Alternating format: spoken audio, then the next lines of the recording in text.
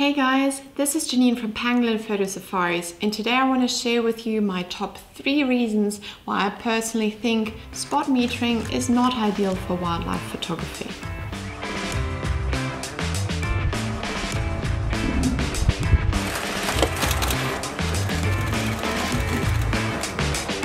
Going out on safari, my clients often ask me which metering mode I find most appropriate out in the field.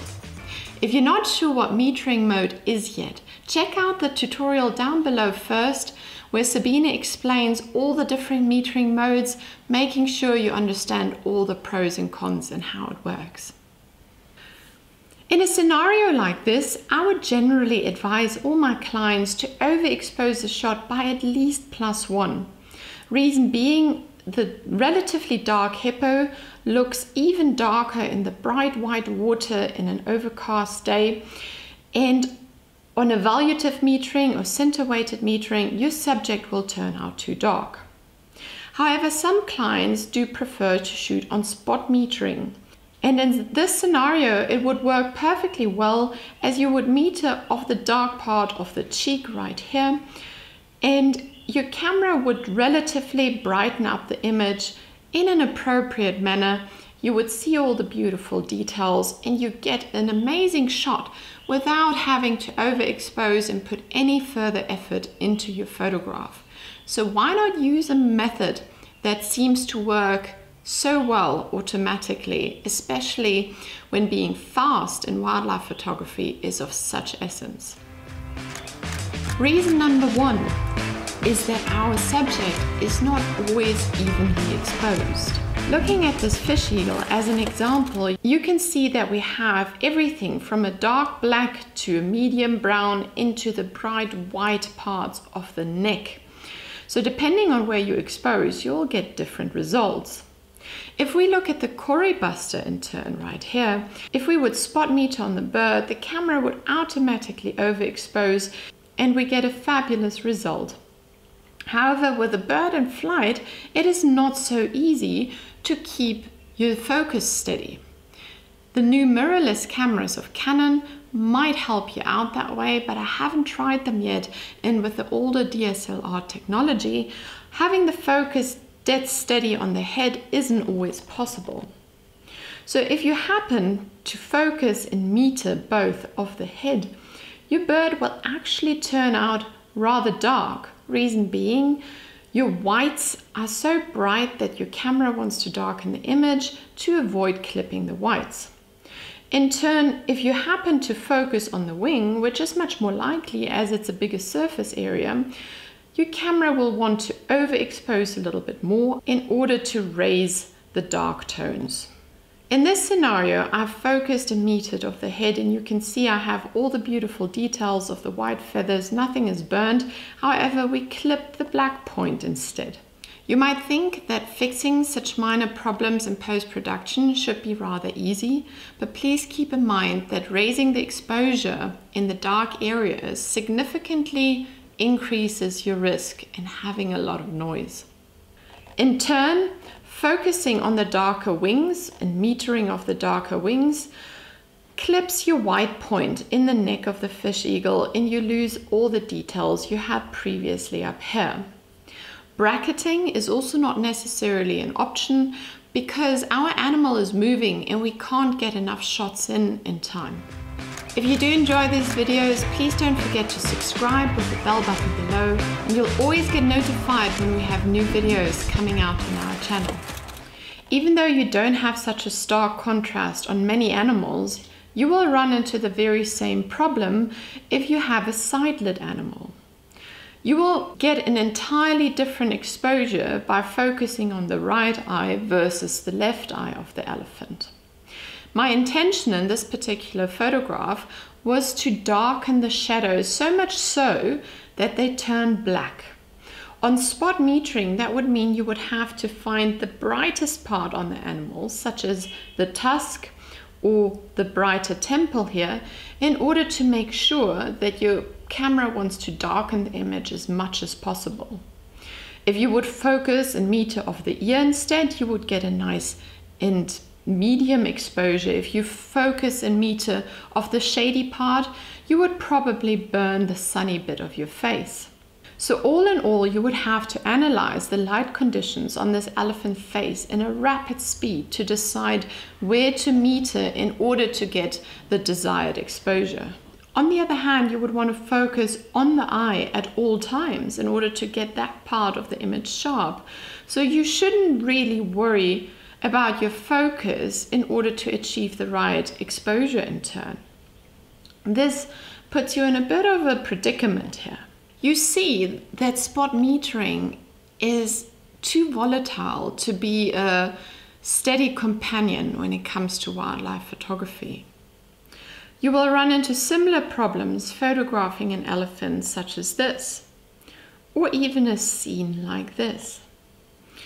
If you want to keep this dark mood of the burned land after the bushfire, you will struggle when you focus in meter of the giraffe's head, which is as much in the shadow as what the background is. Focusing on the head will brighten the entire image instead and you'll lose that natural feel for this burned land. So you see there is quite a few scenarios where spot metering gives you a vast variety of results with the very same subject matter, depending on where you focus and where you meter, and you get changing results, not knowing what you've really done wrong or why it is changing as you kept all the other settings identical. Reason number two, you often meter from the center, while in wildlife photography, we have to shift our focus point throughout the frame. In photography, we would like to have an eye on the composition of our subject and not always have a dead smack center in the middle. In turn, we can't focus in the middle and then shift our frame to the left because we often shoot on AI servo or AFC with Nikon in order to be able to track all the movement with the wildlife photography. So instead of shifting your frame, you'll be forced to shift your focus point towards your subject, ideally towards the head. If you now meter off the center of the dark green grass, you'll not get the right metering for this bird. Matter of fact is you will burn the bird terribly. With a few cameras, you can lock the metering point to your focus point, but those are only the more professional camera bodies. Um, quite a few of the mirrorless cameras have the option, but there is a big range of cameras out there that don't have the option. On top of that, you will have to activate it in most cameras as it's usually turned off according to factory settings. You actually have to go into the menu here and change that. Looking at birds in flight, this poses less of a problem because our focusing point is the fastest in the middle. This is where the calculation effort is the least. And in order to give our bird enough space within the frame and have a fast enough focusing point, we often tend to have our focus dead smack center in the middle.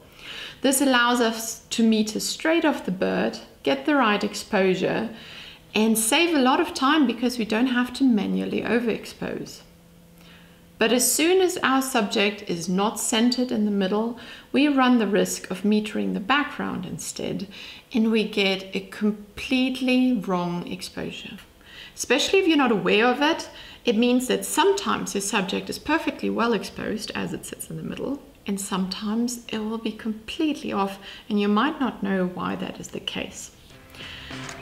Reason number three is that you still have to play with your exposure regardless of being on spot metering. Even though spot metering will get you a nice neutral exposure when metered off the animal, if you want to go and shoot a low key image or a high key image, your exposure will not be extreme enough. So metered of the squirrel will get a nice dark green background as the bush was in the shadow. However, by underexposing it significantly more, we'll, we will be able to turn the shadow into a black background and get a very artistic type of shot. So despite being on spot metering, you will still have to underexpose by at least minus 1, minus 1.3. On evaluative metering, that would have probably resulted in a minus 3.3 all the way to a minus 4. However, you will still have to get to your exposure button. The same holds for any high key shot. If you want to burn your background on purpose and get that really nice charcoal looking black and white image, you will have to overexpose regardless of being on spot metering. So even though you are on spot metering, don't think you can leave your exposure on zero the entire time. If you have a creative side to yourself, you will still have to play with your exposure. So even though I gave you three reasons now why spot metering can be a bit dodgy in wildlife photography, I don't really think there is a right and wrong. There is so many settings available so you can find your preferred way of shooting. However, what I do suggest for everyone is to stick with the metering mode once you have decided for it. Reason being is that you learn how it behaves depending on the light condition, and then you can get a better feeling for what settings your camera requires.